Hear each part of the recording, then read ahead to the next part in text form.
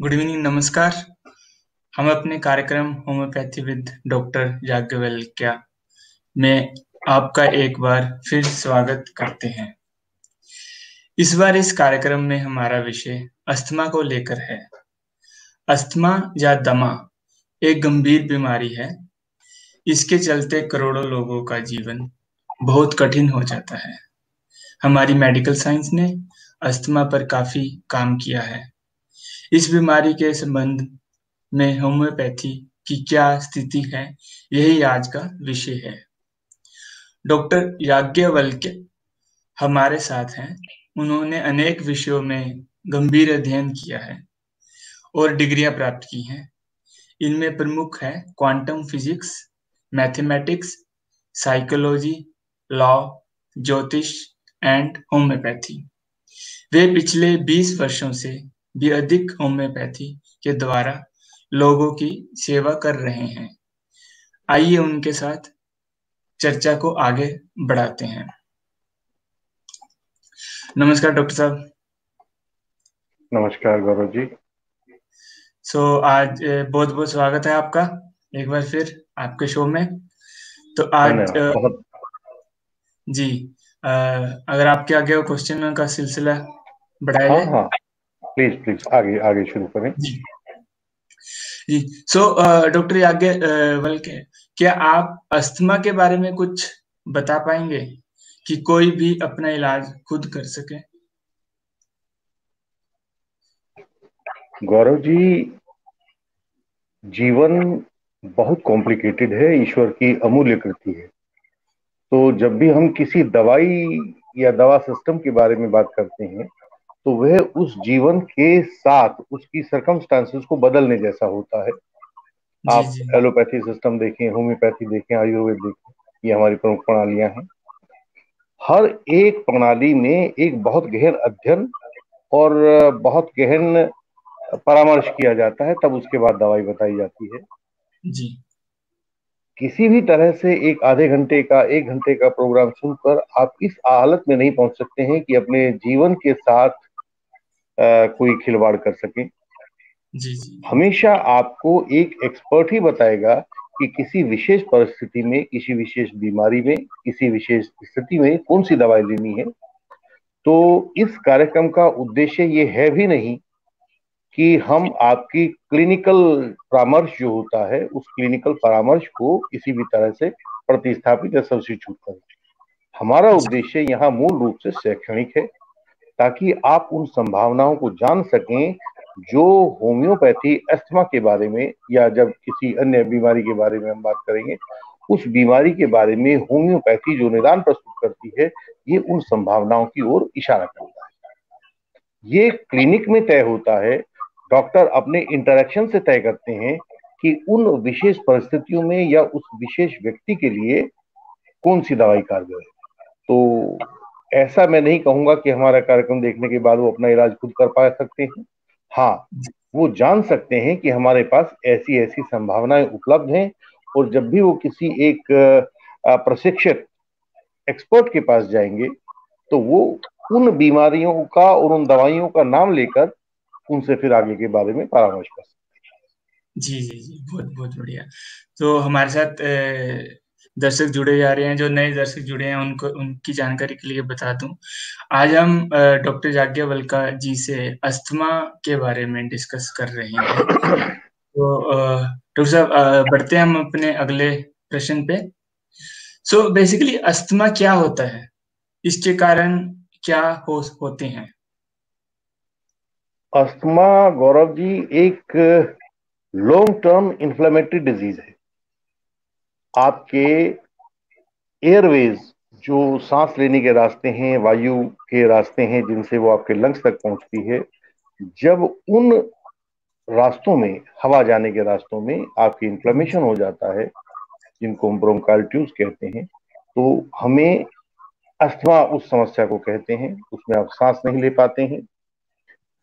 आपको खांसी होती है, आपको वीजिंग होती है, एक सांस के अंदर आवाज़ आती रहती है और छाती में तनाव रहता है। आ, आपकी जो सांस है वह छोटी हो जाती है शॉर्टनेस ऑफ़ ब्रेथ हो जाती है। तो ये तीन चार अस्थमा के मुख्य लक्षण हैं। आपको कफ होगा वीजिंग होगा टाइटनेस ऑफ़ चेस्ट होगा और शॉर्टनेस ऑफ़ ब्रेथ होगा। इनको हम अगर संयुक्त रूप से देखें तो इनको हम अस्थमा कहते हैं। अस्थमा के होने के हमारे पास बहुत सारे कारण हैं। या तो आपको ये हेरिडिटरी रूप से हो सकता है, यदि माता पिता को अस्थमा है तो आपको भी ये प्राप्त होता है। या जिस एनवायरनमेंट में आप रह रहे हैं, उस एनवायरनमेंट में कुछ ऐसे ट्रिगरिंग फैक्टर्स हैं पोलन ग्रेन्स हैं कोल माइंस के अंदर आप इसको कर सकते हैं, या डस्ट है। इस तरह की परिस्थितियों में जब आप देखते हैं तो उन कारणों से हमारे पास अस्थमा ट्रिगर हो जाता है। कुछ मेडिकल कंडीशंस होती हैं जो कि हम अभी कार्डियक अस्थमा में पढ़ेंगे। वो प्योरली अस्थमा नहीं होता लेकिन आ, सांस लेने में खिंचावट और छाती में उसमें जकड़न और दर्द रहता है तो इस कारण से हम उसको कार्डियक प्रॉब्लम को भी अस्थमा की श्रेणी में गिनते हैं और उसको एक विशेष नाम कार्डियक अस्थमा के रूप में जानते हैं। जान सकते हैं। कुछ फ़िज़िकल एक्सरसाइजेस को बहुत ज़्यादा करने से भी आप अस्थमा के शिकार होते देखे गए हैं। आजकल जैसे कोविड 19 के बाद से आप लोग एन नाइन्टी फाइव मास्क का इस्तेमाल कर रहे हैं और बहुत सारे लोग जो सुबह एक्सरसाइज करने के लिए पार्कों में आते हैं वो एक एक्सरसाइज करते हैं और उस एक्सरसाइज में जितनी ऑक्सीजन उनके फिर शरीर को चाहिए वो उसको इनहेल नहीं कर पाते। तो ऐसे में उन्हें भी अस्थमा का मैंने अटैक होते हुए देखा है।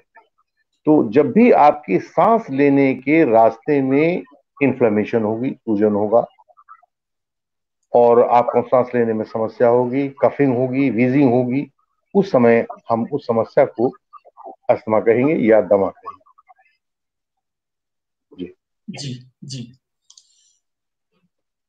तो डॉक्टर साहब, अस्थमा कितने तरह का होता है? और होम्योपैथी में इसको कैसे देखा गया है? अस्थमा को दो तरह का आप मुख्य रूप से समझ सकते हैं। कम से कम इस कार्यक्रम के नुकता नज़र से।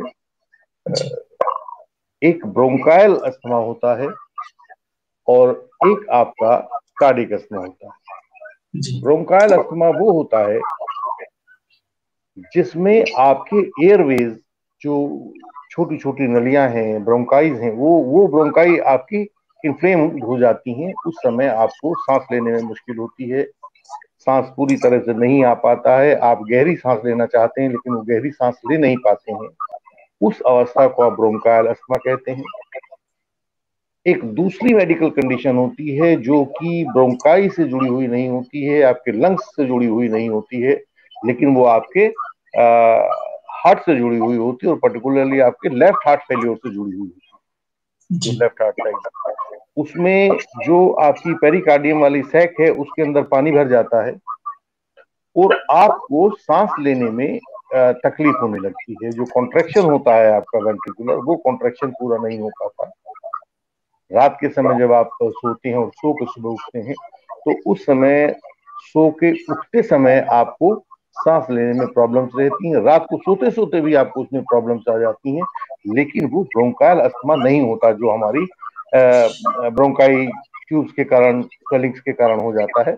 वो नहीं होता। वो एक हार्ट प्रॉब्लम होती है, जिसके कारण सांस लेने में समस्या होती है। तो नाम से हम इन दोनों को एक को कार्डियक एस्थमा कहते हैं, जो हार्ट प्रॉब्लम्स के कारण है, और दूसरी को हम ब्रोंकायल अस्थमा कहते हैं। होम्योपैथी के बारे में जैसे मैंने पहले भी निवेदन किया था कि होम्योपैथी कभी भी किसी बीमारी को उसके नाम से नहीं पहचानती है बल्कि उन समस्याओं से पहचानती है जो व्यक्ति महसूस कर रहा होता है। व्यक्ति से हम पूछते हैं कि आप सांस लेने में कैसी प्रॉब्लम महसूस कर रहे हैं तो वो अपने लक्षण बताता है। उन लक्षणों के आधार पर हम उसको एक दवाई तजवीज करते हैं, वो दवाई लेते हैं और उसकी वो समस्याएँ दूर हो जाती हैं। लेकिन ये निश्चित है कि होम्योपैथी में ऐसी संभावनाएँ हैं, ऐसी मेडिसिन हैं, जो ब्रोंकाल अस्थमा को भी और जो कार्डियक अस्थमा को भी पूरी तरह से ठीक कर सकती हैं। हालाँकि हमारे जो एलोपैथिक सिस्टम है, एलोपैथिक सिस्टम के मुताबिक ब्रोंकाल अस्थमा को कभी भी पूरी तरह से क्योर नहीं किया जा सकता। लेकिन इस बंदिश को होम्योपैथी नहीं मानती। होम्योपैथी के मुताबिक ये वाला अस्थमा क्योरेबल होता है ब्रोंकाल अस्थमा। और एलोपैथी कहती है कि जिस समय आप उस कार्डियक प्रॉब्लम को एड्रेस कर देते हैं, जिसके कारण आपको सांस लेने में प्रॉब्लम है तो वो आपकी कार्डियक अस्थमा ठीक हो जाता है।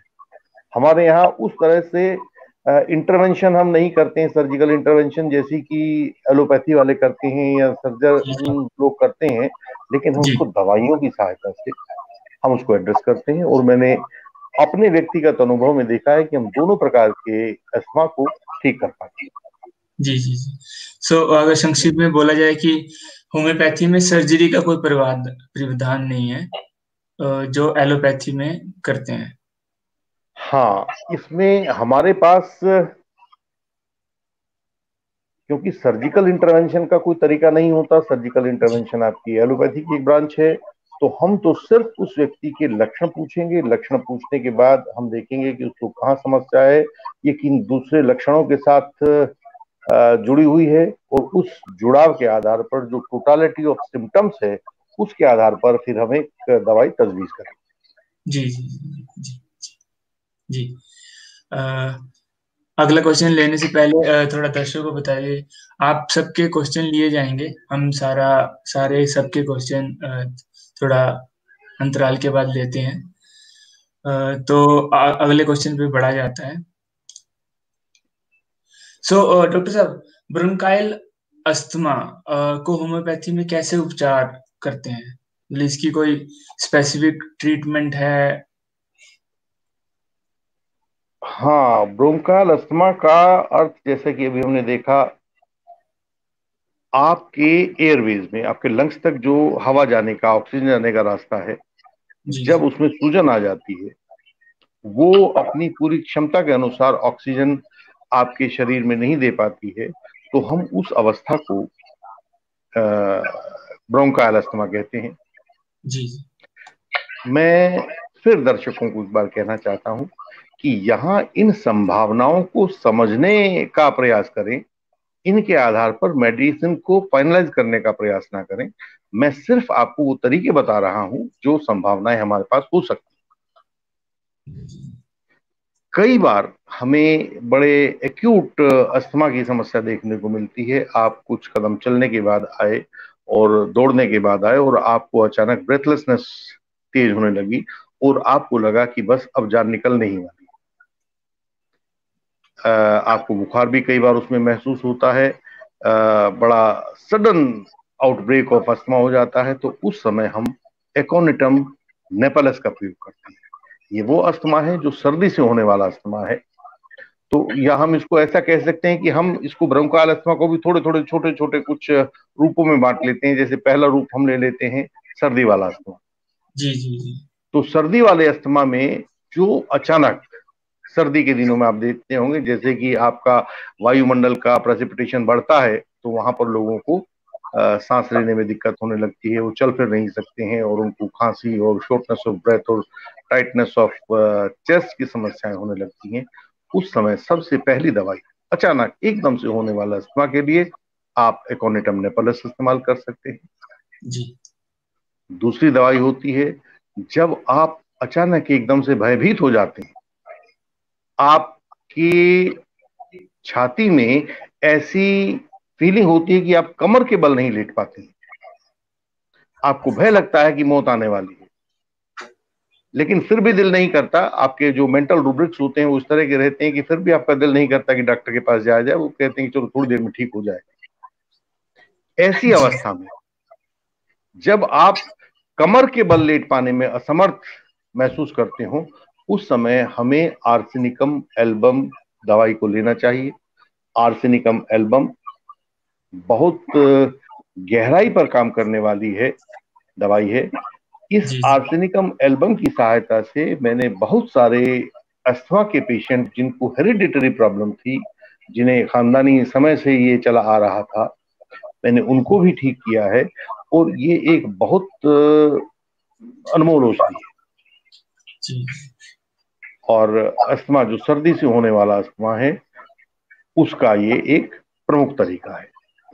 दूसरा हमारे पास है कि जो सुबह तीन बजे के आसपास अस्थमा होता है जैसे अभी हमने ज़िक्र किया कि कार्डिक अस्थमा जो होता है वो कार्डिक अस्थमा आपका सोने के समय आप उसको फेस करते हैं। तो हमारे पास एक कैलियम केमिकल एलिमेंट होता है जिसको हम इंग्लिश में पोटाशियम कहते हैं।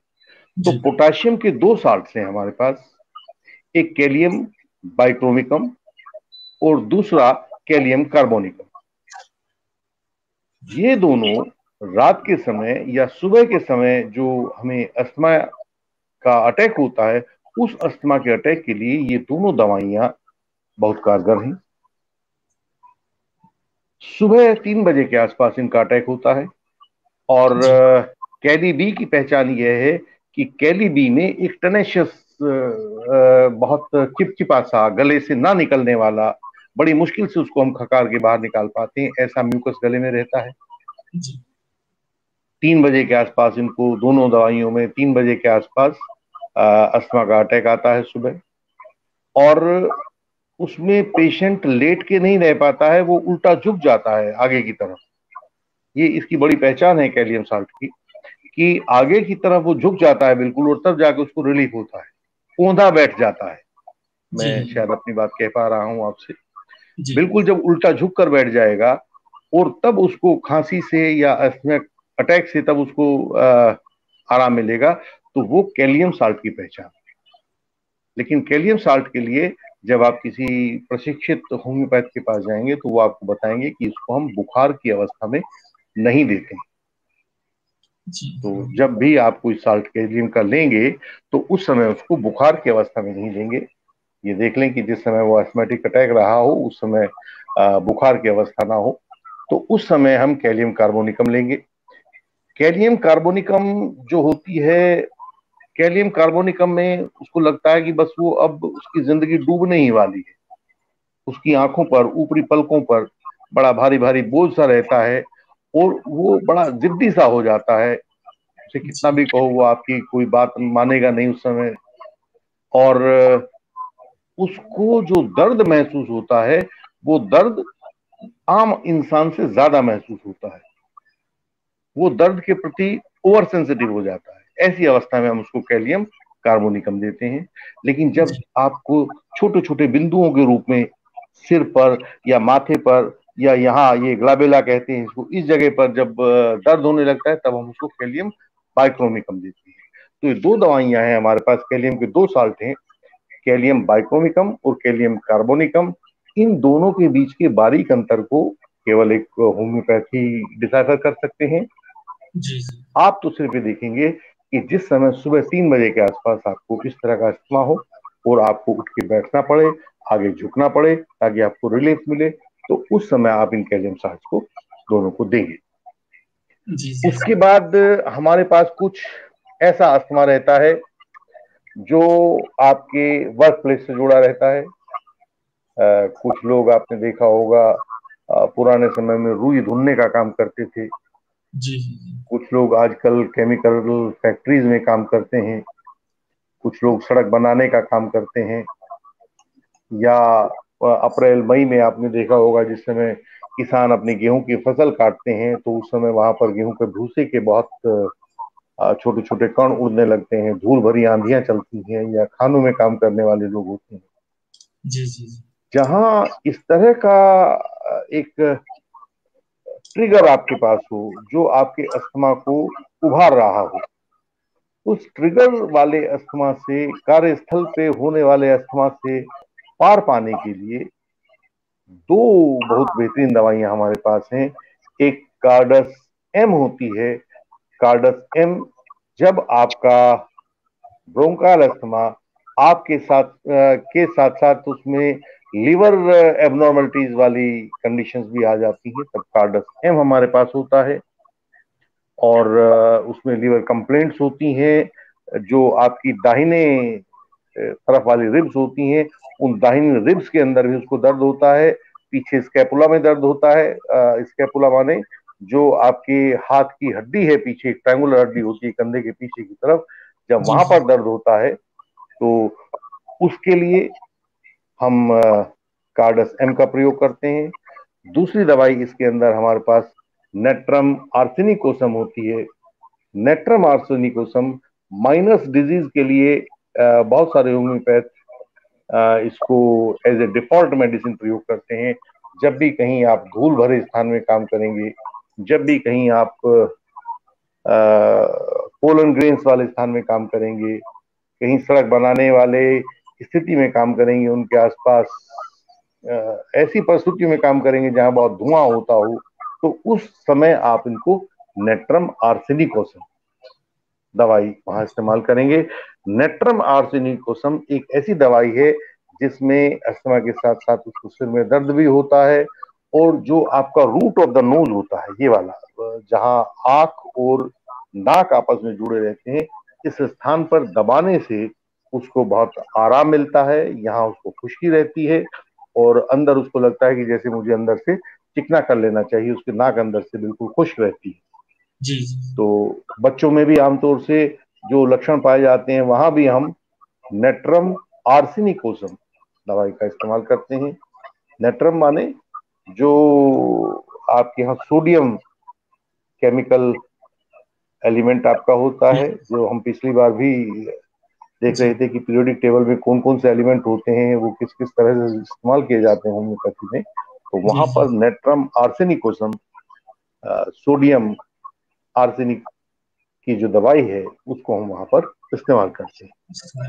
एक विशेष अस्थमा होता है। आपने देखा होगा कुछ लोग होते हैं जिन्हें अगर आप सी फ़ूड खिलाएँ तो वो सी फ़ूड खाते ही और कुछ मुश्किलों से गिर जाते हैं। सांस नहीं आता है या कई बार होता है कि उनके स्किन पे रैशेज हो जाते हैं दांत जैसे बन जाते हैं बड़े बड़े और उसमें खुजली होने लगती है इचिंग होने लगती है। तो जब भी हम बरसात में या पानी के आसपास पैदा होने वाली वनस्पतियों को या पानी के अंदर पैदा होने वाले जीवों को इनके संपर्क में आते हैं इनको खाना शुरू करते हैं तो ये दवाई हमारे शरीर के ऊपर कुछ बुरे प्रभाव डालती है। वो आपके श्वसन पर हो सकता है ब्रीदिंग पर हो सकता है आपकी स्किन पर हो सकता है आपके डाइजेस्टिव सिस्टम पर हो सकता है आपके लिवर पर हो सकता है। जब भी ऐसी समस्या हो बरसात या भरा हुआ पानी वो आपको समस्याएँ पैदा करता हो तो उस अस्थमा के लिए हम नेट्रम सल्फ का इस्तेमाल करते हैं। नेट्रम सल्फ इसकी एक रामबाण औषधि है, लेकिन इसके लिए नेट्रम सल्फ को जब हम बताते हैं कि आप नेट्रम सल्फ का इस्तेमाल करें, साइनस के लिए भी नेट्रम सल्फ बहुत कारगर औषधि है। तो इसके लिए लेकिन अंतिम निर्णय आपके डॉक्टर करें जब आप उन्हें जाकर बताएँगे, तब मुझे ये खाने खाने से प्रॉब्लम होती है। और जैसे ही बरसात आती है, जैसे ही मेरे पास नमी वाले जगहों पर मुझे जाना होता है जैसे ही मैं सी फ़ूड खाता हूँ तो मेरे साथ ये समस्याएँ आती हैं। उस समय हम नेट्रम सल्फ का इस्तेमाल करेंगे और नेट्रम सल्फ एक ऐसी दवाई है जो बहुत बीमारियों में एक चमत्कारी काम कर चमत्कारी काम। तो नेट्रम सल्फ है। कुछ ऐसे घर होते हैं जो बहुत पुरानी जगहों पर होते हैं या आपके अंडरग्राउंड बेसमेंट्स बनी होती हैं छोटी छोटी कोठरियाँ बनी होती हैं उनमें सीलन और अंधकार। जी जी सीलन भी होती है और अंधकार भी लगी अंधकार भी होता है नमी और सीलन वाली जगहों पर। और आपने देखा होगा कि इवन दीवारों पर फकून जैसी चीज़ें भी आ जाती हैं काले काले निशान पड़ जाते हैं। विज्ञापनों में भी आजकल कई बार दिखाया गया है।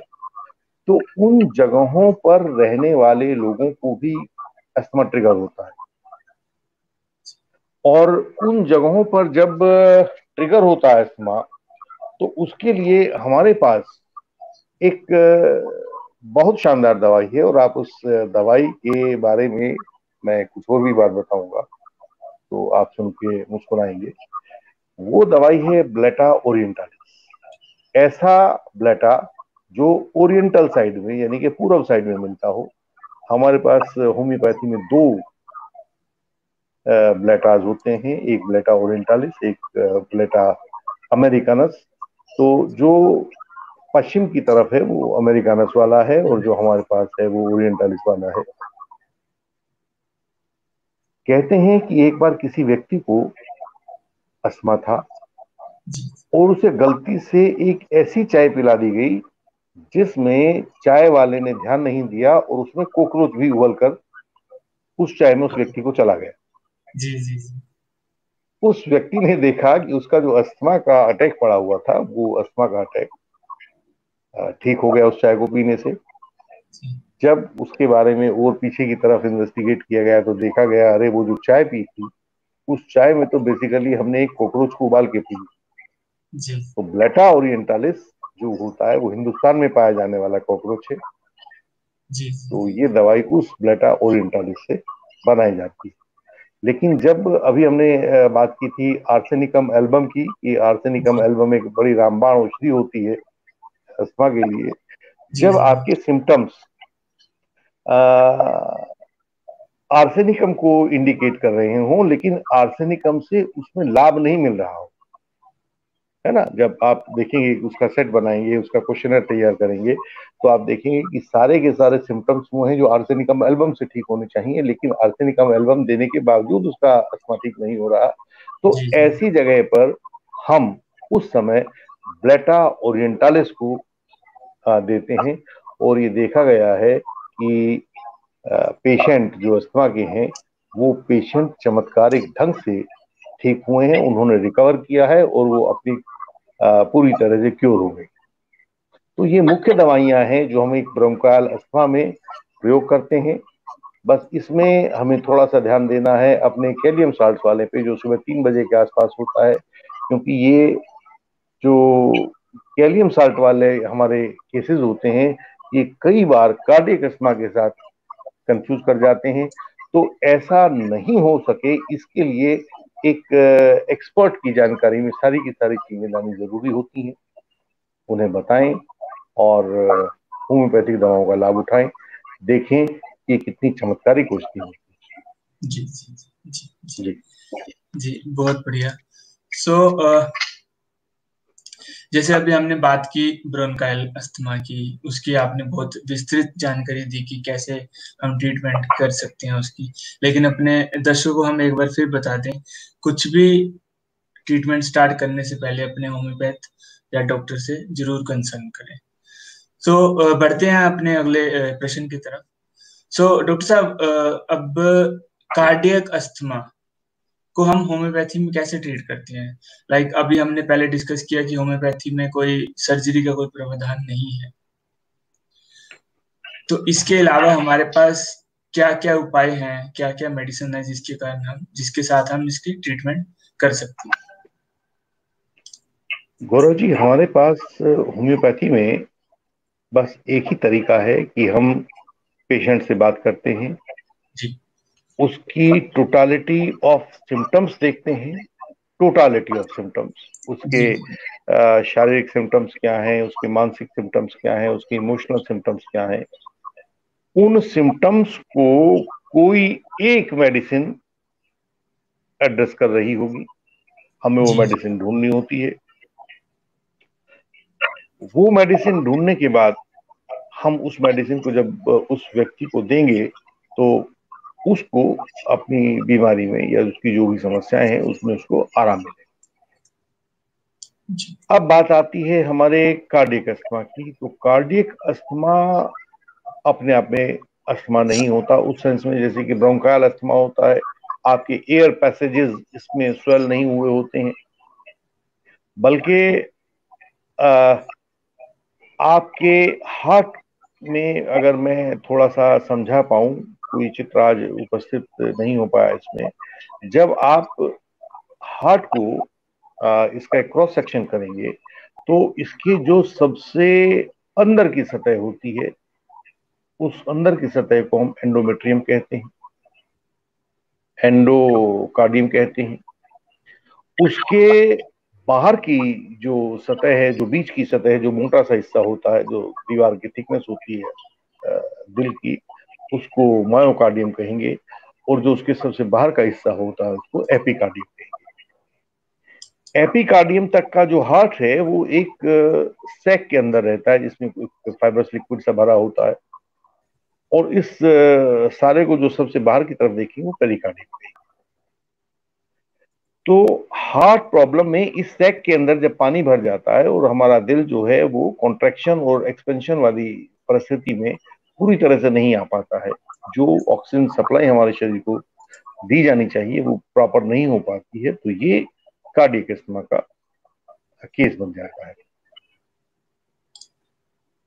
एंडोकार्डियम में जब समस्याएँ होती हैं, उसके लिए होम्योपैथी में एक दवाई है कैक्टस ग्रैंडीफ्लोरस हम कैक्टस ग्रैंडीफ्लोरस को उस समय कॉल करते हैं। कैक्टस ग्रैंडीफ्लोरस के केस में आप देखेंगे जितनी आर्टरीज होती हैं आर्टरीज के अंदर बहुत सारा प्लैक पाया जाएगा, उनमें कंजेशन रहेगा और आप बता देते हैं, जिसको आप सामान्य भाषा में कहते हैं कि ब्लॉकेज हो जाता है, वो ब्लॉकेज रहेगा। और जो आपका डिस्ट्रीब्यूशन ऑफ़ ब्लड होता है शरीर में वो अनइवन हो जाएगा कभी वो ज़्यादा और कभी वो कम वाला रहेगा। तो जब ऐसी स्थितियाँ होती हैं उस समय आपका आ, हम का कैक्टस ग्रेडिफ्लोरस को करते हैं। उस व्यक्ति को हमेशा बहुत एंजाइटी रहेगी। जब भी अकेला होगा वो बहुत चीखेगा उसे फियर ऑफ़ डेथ लगा रहेगा और उसके हार्ट में एक सख्तपन आ जाएगा जिसको आर्टेरियोस्क्लेरोसिस कहते हैं। उसकी धमनियाँ बहुत कठोर हो जाएँगी। उसको बहुत तेज नब्ज धड़केगी वॉलेंट पेल्पिटेशन होगा। और जब वो अपनी लेफ़्ट साइड पर लेटने की कोशिश करेगा तो उसे प्रॉब्लम्स होनी शुरू हो जाएँगी। तो लेफ़्ट साइड ना लेट पाने का जो पहचान है ये कैक्टस ग्रेंडिफ्लोरस की पहचान। यह एक अकेली दवाई है जो लो ब्लड प्रेशर को अपनी पहचान के रूप में बताती है। पूरी एलोपैथी में मैंने नहीं देखा कि कोई दवाई उसको लो ब्लड प्रेशर से बाहर निकाल पाती हूँ परमानेंटली लेकिन इसमें बहुत सारे पेशेंट्स को हम डेली ट्रीट करते हैं जो लो ब्लड प्रेशर से प्रभावित होते हैं। तो उनके लिए कैक्टस ग्रैंडिफ्लोरस एक रामबाण दवाई है और ये आपके कार्डियक अस्थमा के उस केस को जो आपके एंडोकार्डियम को प्रभावित करता है उस केस में ये एक रामबाण तरीका है। जी, जी। एक दूसरी दवाई हमारे पास होती है जिसे हम डिजिटलिस परप्यूरा कहते हैं। डिजिटलिस एक ऐसी दवाई है जो मायोकार्डियम से रिलेटेड है। जो उसका बीच का हिस्सा होता है दिल वाला जो वॉल्यूमिनस पार्ट होता है वो मायोकार्डियम होता है। तो जब इसमें प्रॉब्लम आ जाती है इसमें प्रॉब्लम जो आपका ऐसे नोड होता है वहाँ पर चार्ज डिस्ट्रीब्यूशन प्रॉपर नहीं होता चार्ज ट्रांसमिशन प्रॉपर नहीं होता आपके पेस मेकर से प्रॉब्लम आने लगती हैं तो ये सारा का सारा वो पोर्शन है जिसको हमारे डिजिटलिस्ट एड्रेस करती है। जी, जी, तो इस समय आप देखेंगे कि डिजिटलिस्ट के साथ साथ आपके लीवर में भी प्रॉब्लम होने लगती है आपके चेहरे पे पीलिया के लक्षण दिखाई देने लगते हैं जॉन्डिस के लक्षण दिखाई देने लगते हैं ऑरिकुलर फ्लटर और फिब्रिलेशन हो जाता है। ये आपके होम्योपैथ समझा पाएँगे। ये एक ईसीजी में हम उसको देख के पहचान सकते हैं कि वहाँ पर फ्लटर है या फिब्रिलेशन है। जब आप इसीलिए अपना डॉक्टर को दिखाएँगे तो देख के उसको पहचान जाएँगे। और डिजिटल इसके पेशेंट को जब भी वो चलता है चलने के बाद उसकी सांस फूलने लगती है और उसको लगता है कि यदि वो एक भी कदम चला तो मर जाएगा।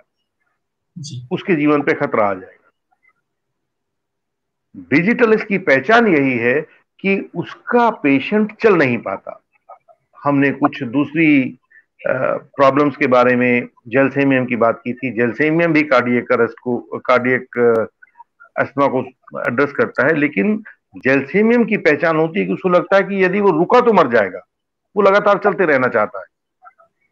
डिजिटल इसकी पहचान ये होती है कि यदि वो चला तो मर जाएगा, उसको लगातार रुकने की ज़रूरत होती है। तो इस तरह के जो डिफरेंसेस होते हैं, इस तरह की जो पर्टिकुलर सर्कमस्टांसेस होती हैं दवाइयों की वो सिर्फ़ एक एक्सपर्ट ही पहचान सकता है। यदि हम किसी लेमैन के हाथ में ही सौंप देंगे तो वो एक अर्थ का अनर्थ कर पाएगा और लाभ होने की अपेक्षा उसको हानि होने की संभावना हो। जी जी जी तो डिजिटल इसको हम उन परिस्थितियों में इस्तेमाल करते हैं जब व्यक्ति थोड़ा सा चले तो उसके सांस फूल जाती है और वो रुक जाना चाहता है वो चल नहीं चलना नहीं चाहता। वो छोटी छोटी सी बातों को सुनकर एकदम से घबरा जाता है मेरे पास एक पेशेंट थे, अभी इसमें, जिन्हें मैंने डिजिटल दिया था।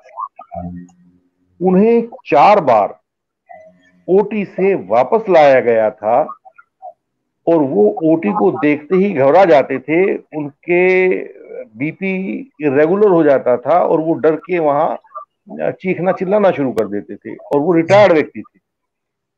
तो ओटी को देखते ही वो इतना घबरा जाते थे। तो जब उन्होंने देखा कि वो किसी भी तरह से जो उनकी कंडीशन है ओटी वालों की, वो पूरी नहीं कर पा रहे तब उन्हें होम्योपैथी के लिए मेरे पास लाया गया और वो, मुझे लगता है कि आज बहुत हष्टपुष्ट हो गए हैं और अच्छा स्वास्थ्य एंजॉय कर रहे हैं क्योंकि रिटायर हो चुके हैं तो घूमने फिरने दूर दूर तक जाते हैं। तो हमारे पास ऐसे तरीके और उनके ऐसे लक्षणों को नोट करने के तरीके रहते हैं, जिसके द्वारा हम इन दवाइयों का बेहतर प्रयोग कर सकते हैं। जी। जी बहुत बहुत बहुत महत्वपूर्ण जानकारी दी आपने। बल्कि तो, अगर आप कहें तो मुझे कुछ याद आ रही हैं।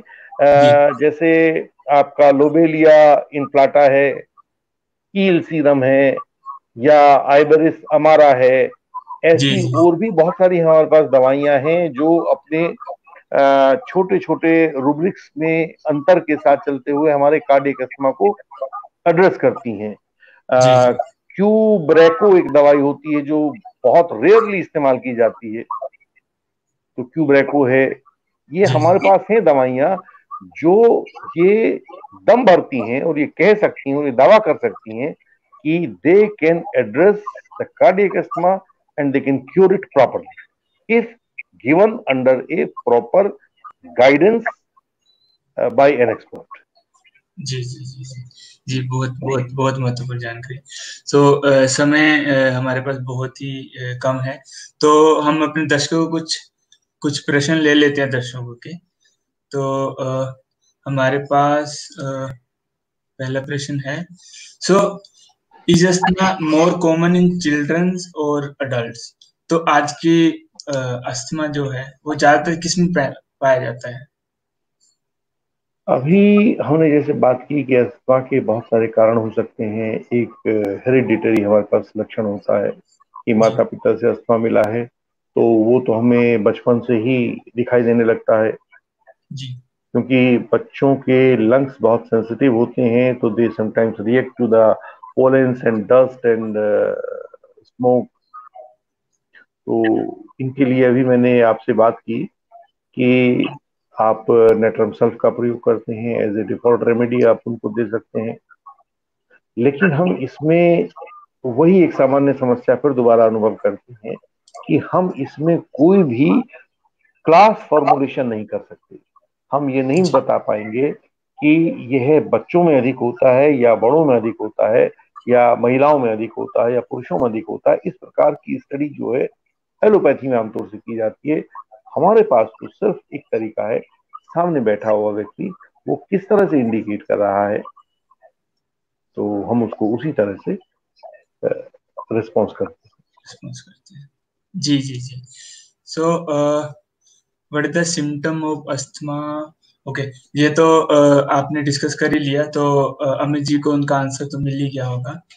और संजीव जी uh, कह रहे हैं जीवन दायनी महत्वपूर्ण जानकारियाँ। सो so, धन्यवाद संजीव जी। इसी प्रकार हमारे से जुड़े रहिए। और महत्वपूर्ण जानकारी हम और आने वाले टाइम में और महत्वपूर्ण विषयों पर डिस्कस करेंगे। सो so, डॉक्टर साहब एक रह रहे के क्वेश्चन आ रहा है जो हमारे एक ऑफलाइन दर्शक ने पूछा है। उन्होंने कहा है कि उनको साइनस है। तो is sinus start of asthma नहीं साइनस अस्थमा का स्टार्ट नहीं होता। साइनस के हमारे पास यहाँ पर कुल मिला के आठ पॉइंट्स होते हैं। और उनमें से जब आपका म्यूकस ज़्यादा जमने लगता है तो उस अवस्था को हम साइनस कहते हैं।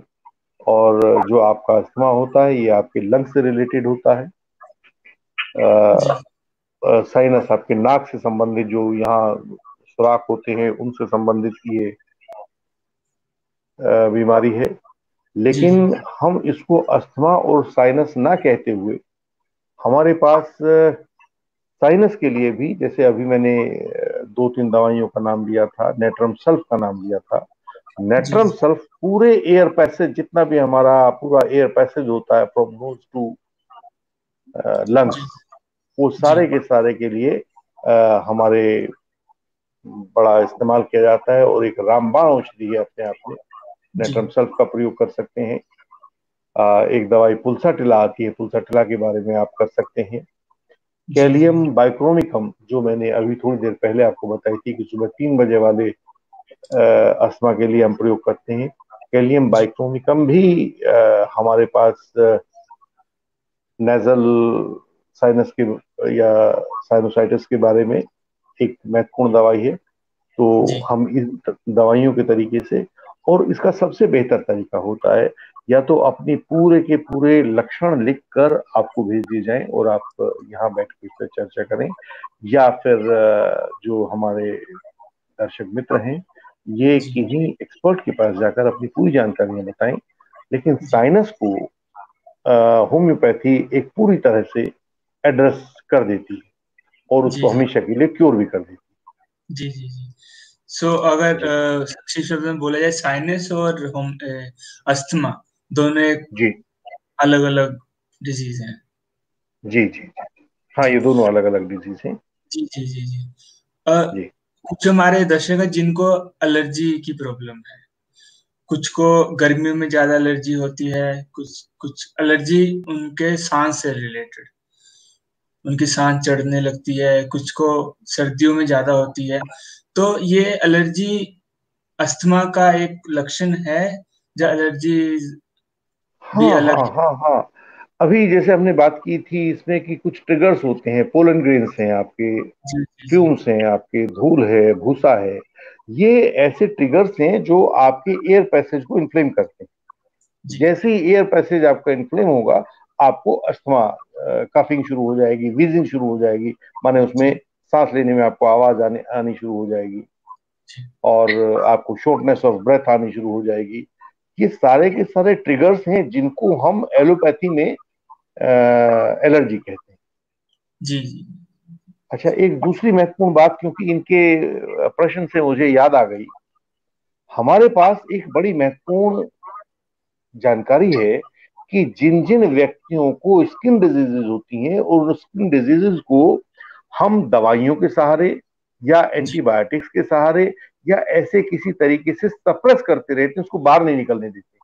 जी जी देखिए अगर आपको इरप्शन होगी आपको फोड़े फुंसियाँ निकलेंगे तो ये किसी न किसी आपके इंटरनल प्रॉब्लम के कारण निकलेंगे। आप इंटरनल प्रॉब्लम को तो एड्रेस नहीं कर रहे हैं और जो बाहर निकलने वाली स्किन डिजीजेज हैं उनको सप्रेस कर दे रहे हैं। एटी परसेंट ऐसे केसेस में आप धीरे धीरे अस्थमा डेवलप कर लेते हो।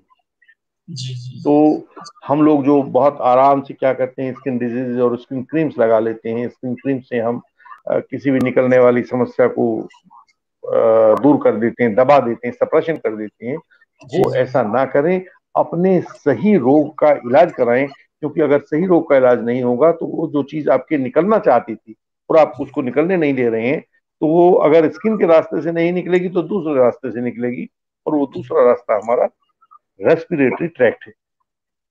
अस्थमा बन के वो बाहर निकल। ये ऐसा देखा गया है तो ये अपने दर्शकों को आप बता सकते हैं कि अगर कहीं कोई स्किन प्रॉब्लम है तो उसका इलाज कराएँ उसे सप्रेस ना करें। जी जी जी। अभी अच्छा अभी इस एपिसोड का हम लास्ट क्वेश्चन लेते हैं। आज के क्वेश्चन आज क्वेश्चन बहुत आ रहे हैं। एक प्रश्न है हमारे ऑफलाइन यूज़र का। वो ये पूछना चाहते हैं is there any relation between migraine and asthma asthma और माइग्रेन में कुछ? Migraine may be a side effect of asthma लेकिन डायरेक्टली क्योंकि migraine is related to your cerebro spinal access आपके नर्वस तंत्र की बीमारी है। नर्वस सिस्टम की बीमारी है स्नायु तंत्र की बीमारी है। और अस्थमा आपके रेस्पिरेटरी सिस्टम की बीमारी ऐसा हो सकता है कि अस्थमा से जो आपको तनाव पैदा हुआ हो उससे माइग्रेन डेवलप हो जाए। लेकिन ज्ञात परिस्थितियों में या ज्ञात स्टडीज़ के आधार पर माइग्रेन और अस्थमा के बीच में ऐसा कोई संबंध जो एक दूसरे को सपोर्ट करते हो या एक दूसरे को ट्रिगर करते हो मेरी जानकारी में नहीं जी जी जी जी जी। एक और प्रश्न आया है। अभी ये आई थिंक एलोपैथी से ट्रीटमेंट करवा रहे हैं। ये इनहेलर लेते हैं। जी। तो इनका क्वेश्चन है how to survive an asthma attack if you are caught without your inhaler जी। अभी मैंने निवेदन किया था जो सबसे पहली दवाई हमने कही थी। पिछली बार भी आपने एक प्रश्न मुझसे पूछा था कि एस एस के रूप में क्या हम कोई दवाई का इस्तेमाल होम्योपैथी में कर सकते हैं? हम एस के रूप में और मैंने तब निवेदन किया था कि हम एस के रूप में आ, कोई ऐसी प्रेस्क्राइब मेडिसिन नहीं है लेकिन कोई भी बीमारी यदि आपको एकाएक घटित हो जाती है आपके सामने आ जाती है और आप एक सही इलाज की अवस्था तक पहुँचने का टाइम आपके पास नहीं होता तो उन परिस्थितियों में आप एकोनिटम नेपलस एकोनेटम नेपलस इस दवाई को आप इस्तेमाल कर सकते हैं। इसे हम सामान्य भाषा में एकॉन भी कहते हैं। एकॉन का वन एम थोड़े से पानी में डालकर उसके पाँच ड्रॉप्स आप ले लीजिएगा और आपको वो इतना पर्याप्त समय दे देगी। हार्ट अटैक भी होगा तो उसको भी वो वहाँ तक तो ले ही जाएगी कि आप डॉक्टर के सामने जाके अपनी बात को सही तरीके से रख सके। Aconitum napellus is not a cure जी ये सिर्फ़ प्रिवेंशन है उस चीज़ का जो आपको एकाएक घटित होगी। तो इसको क्योर मान के ना चलें कि अगर आपने आज वो ले लिया है तो एंजाइना पेक्टोरिस से या अस्थमा से आपको रिलीफ हो गया है या माइग्रेन से रिलीफ हो गया है, ऐसा ना मान के चलें, सिर्फ़ ये मान के चलें कि इसने उस अटैक को उस समय for the time being it has managed it but now you have to go to the doctor and tell him everything so that it can be cured precautionary measures can be taken जी जी जी। Doctor साहब एक हमारे दर्शक हैं जो काफ़ी टाइम से हमारे साथ जुड़े रहे हैं। uh, उनका uh, एक टॉपिक है कि अगले अगर हम कोई एपिसोड फिट्स के ऊपर किया जाए। हाँ फिट्स के बारे में किया जा सकता है और हम बिल्कुल कोशिश करेंगे कि अगली बार या उससे अगली बार हम इसको अपने नोट कर लेते हैं। और जैसे ही संभावना होगी हम इस बारे में एक नया एपिसोड अवश्य करें। सो वैष्णव जी आपको आपका uh, उत्तर मिल गया होगा। हम भविष्य में आने वाले एपिसोड में एक फिट्स के बारे में एपिसोड ज़रूर करेंगे। सो so, uh, अभी हमें समय और इजाज़त नहीं दे रहा डॉक्टर साहब। सो so, आज का एपिसोड क्लोज करते हैं कंक्लूड करते हैं। बहुत बहुत धन्यवाद आपका। सो सो दर्शकों ये थे हमारे साथ डॉक्टर याज्ञवल्का जो निरंतर हमारे साथ हर एपिसोड में आते हैं और हम कोई नया नया नया टॉपिक जिस पे हम डिस्कस करते हैं। सो so, आज का एपिसोड जो हमने अस्थमा के ऊपर किया है सो so, आज हमने देखा कि होम्योपैथी अस्थमा के मामलों में भी एक सार्थक सहायक के रूप में आपके पास मौजूद रहती है। जब भी आप ऐसी समस्या से जूझ रहे हो अपने पास स्थित किसी भी एक्सपर्ट के पास आप जा सकते हैं और जो भी दवाई वे बताएँ उसके द्वारा अपने अस्थमा पर आप काबू पा सकते हैं। सो so, इसी के साथ आज का एपिसोड हम कंक्लूड करते हैं। फिर मिलते हैं आपको next week with new topic thank you take care bye bye